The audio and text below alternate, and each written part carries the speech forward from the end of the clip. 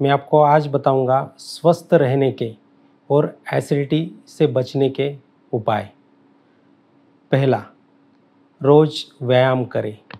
कम से कम दो तीन किलोमीटर रोज़ चले या तीस मिनट के लिए व्यायाम करें। दूसरा, अगर आपका वज़न ज़्यादा है तो वज़न कम करने की कोशिश करें। वज़न कम करने के लिए या तो व्यायाम या अच्छा खाना हमेशा लाभप्रद होता है।